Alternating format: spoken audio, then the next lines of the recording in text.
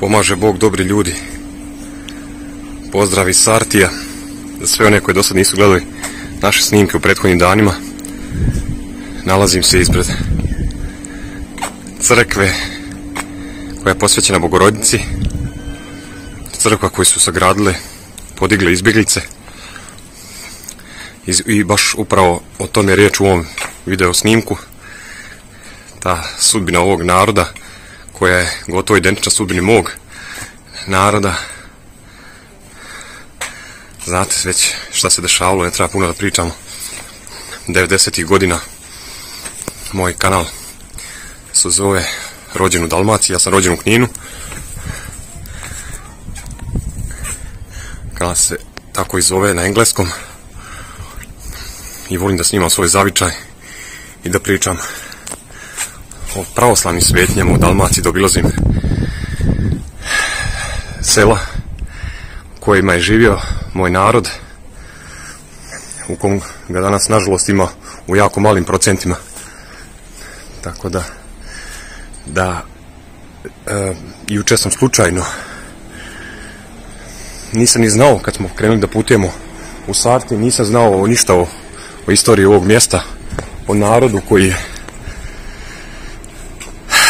koji se ovdje doselio. To jest nije, nije svojom voljom nego prosto zbog poteškoća rata grčko-turskog rata u kojem su morali da napuste svoje domove kao i ja.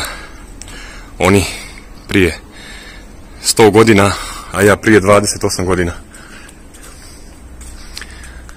Da se vratim na priču o crkvi ispred koje se nalazim po predanju legenda kaže da oni kad su krenuli brodovima da napuštaju svoj zavičaj nisu mogli da da, se, da krenu s brodom dok nisu unijeli ikonu presvete Bogorodice. E ta ikona se danas nalazi ovdje u crkvi i ona se proslijeva 15. augusta. Prije nekoliko dana je bila velika litija, ovdje je bilo puno naroda. Tako da da je ovo velika svetnja, čujemo se svako jutro, mi je čujemo iz našeg smještaja.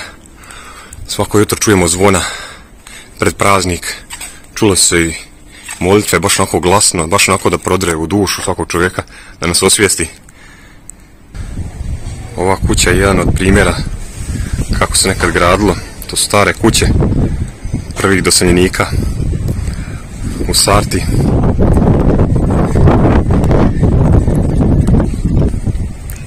Čitao sam da im je bilo jako teško kad su izbjegli, isto kao i nama. Trebalo se prilagoditi. Ali ispričat ću vam da oni nisu prvo došli ovdje u Sarti, već kod Atine. Oni su došli kod Atine, tu su ih smjestili, smjestili se tu, ali nisu tu znašli, nije im odgovaralo.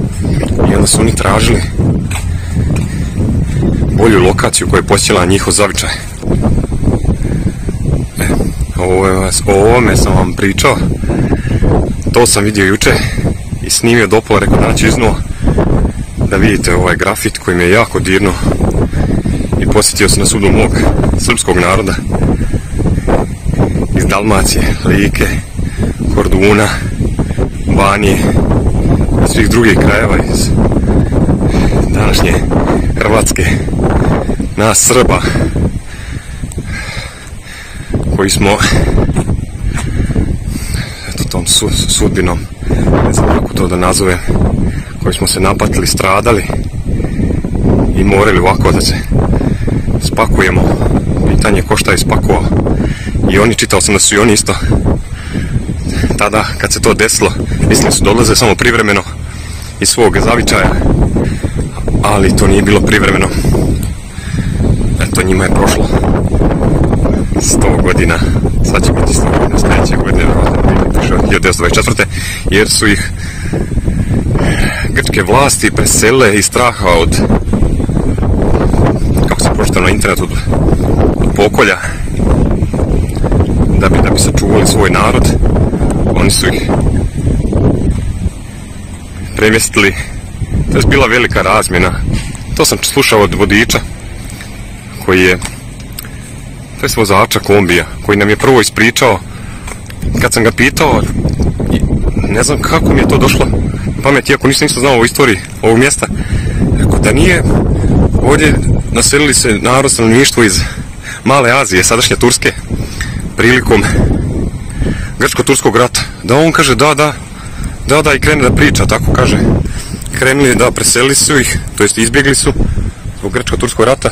A ja sam ranije čitao da je milion i pol Grka iz sadašnje Turske, to jest Male Azije, preseljeno u Grčku, a 500.000 Turaka iz Grčke u Tursku. Znači razmjena stanovništva.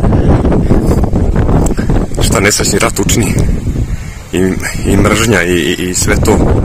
Ne Bož, Bog nikome da to osjeti na svojoj koži. Evo kažem, rekao sam, ja sam rođen u Dalmaciji, bio sam dječak, imao sam 10 godina i svega se izuzetno dobro sjećam. I jako mi je teško kada pričam o tome i razmišljam uopšte.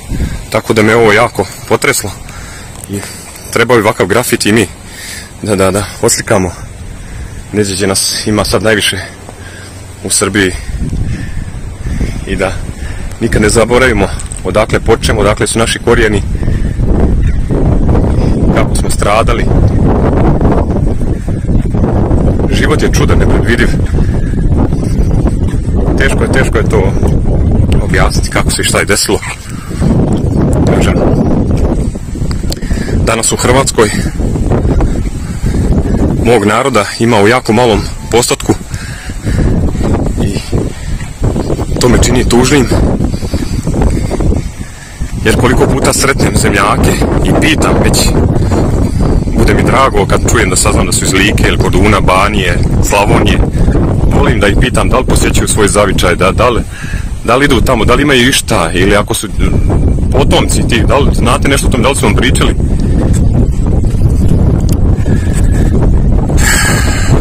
Jako, jako teška priča. Ali morao sam ovo podijeliti sa vama. Ispred mene smokva, a u daljini se pruža more sve do Atosa Svete Gore. Kažem kraj koji podsjeća na Dalmaciju. Smokve masline. Klima, mnogo toga sličnog. Gore je veliki krst, idem do gore.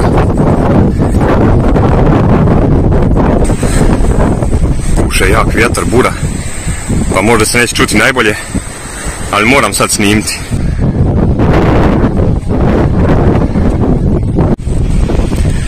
Ništa nije slučajno, tako ni ovo što su mi to putovali na ljetovanje u Grčku u Sarti, Sitoni u Halkidiki. presveta majka Božja nas vodi svojim putem koji mi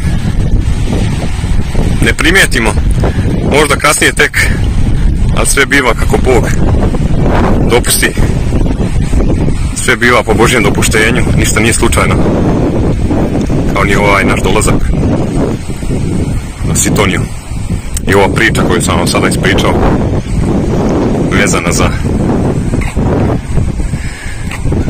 za Grke i Srbe i progon stanovništva i sve to, sve te nevolje koje su desile.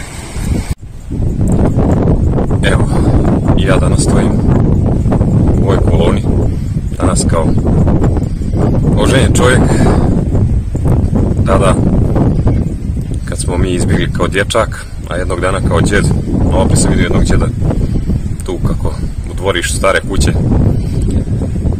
ako nešto radi, javio mu se, onako ljubazno se javio. ta generacija, kako su lijepo kulturni. Tako da, život brzo proleti, vremena je malo, a i ove, to što nam se desilo u životu, te uspomene, to pamtimo, ne zaboravljamo i pričamo sljedećim naraštajima, djeci, unčadima, odakle smo potekli, o našoj vjeri, običajima, kulturi, tradiciji, svemu tome što danas se nažalost gubi, da sačuvamo te vrednosti i da se prije svega držimo po Božjem, da činimo kako valja i Bog će i nas čuvati onda i vodit će nas pravim putem. Eto, za kraj, izvim ova moja poruka. Tako da, pozdravljam vas puno. Vidimo se u narednom snimku. Svako dobro. Živi bili. Pozdrav.